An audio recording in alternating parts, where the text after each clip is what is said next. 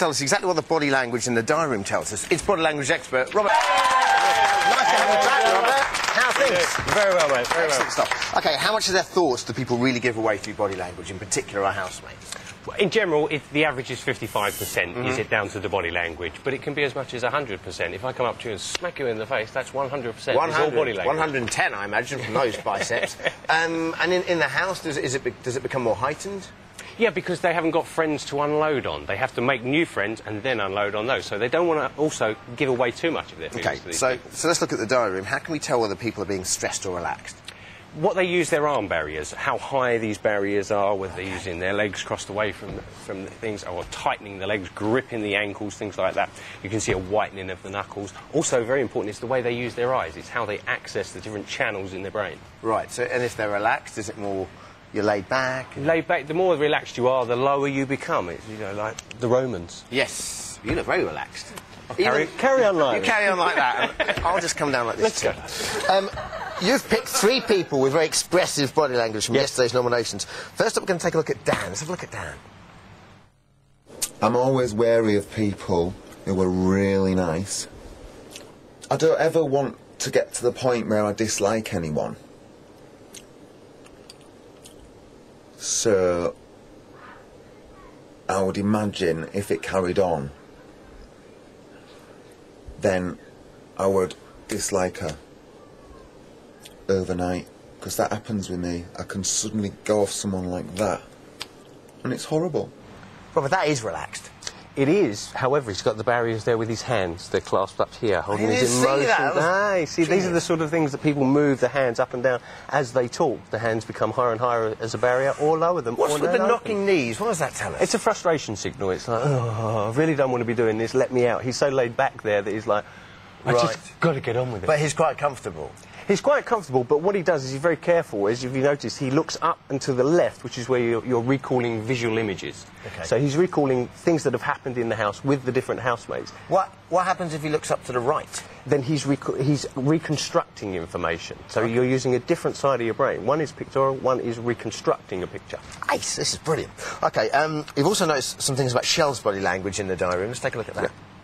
I don't have any other problem with Becky, and in many ways, I don't know.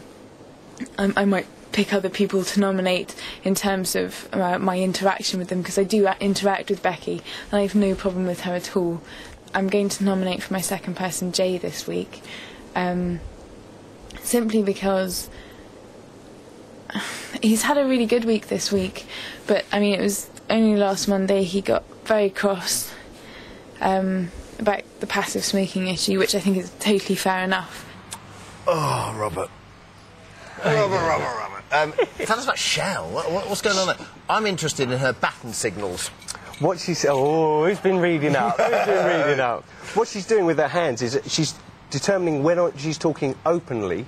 The palms Oh, go yeah, out yeah. and up and open. Very honest. I'm being honest here. It's almost impossible not to turn your palms out Yep. when you're talking openly and freely.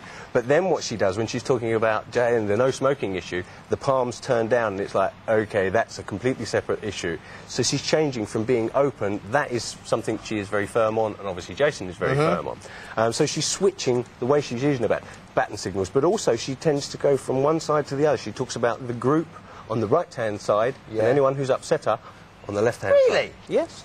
And what about her leaning? For, she leans forward quite a lot. She, is that quite? She does. She also quite pensive straightens. there, or yeah, she the- straightens the back, so she's quite tense in these situations because Yeah. there's a slight arching in the back, and we do that when we're tense. Sure. Okay, let's have a look at Stu. You picked out Stu as well. Stuart, you're reminded that your nominations must be your own choice and must not be influenced by any other housemate. I, I don't really understand what I can do because you say be full and frank and everything, and that is exactly what I'm being, but. Because otherwise I'd have to make up a reason, in which case it wouldn't be full and frank. I think he wants to be nominated. And now we have to stress this is all during nominations, so the mm. pressure's obviously heightened. But what, what's what's for Stuart there? Because he looks sort of semi-laid back, but like you were saying, those crossed hands. Yet he changes. At the beginning, his hand is relaxed, one on top of the other.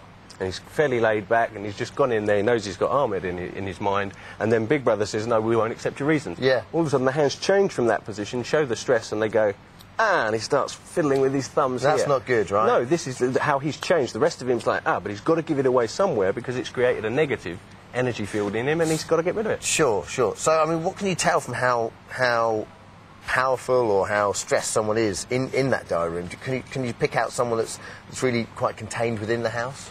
Well, the three that we've, we've chosen are generally speaking, they're quite quiet in the Mm. house. But when they go into the diary room, their body language gives away what their real thoughts are because they're very, very cautious. Stuart, in particular, is somebody who thinks about everything he says. Anybody asks him a question that's sort of out of the norm, and he goes, um, I don't know. Yeah. Um, let me think. It looks down as well, doesn't yeah, he? Well, and almost hunches. What does when, that tell us? when you go down and to the left, you're having an internal conversation. You're running over what will I say as I say it. Is that going to be accepted?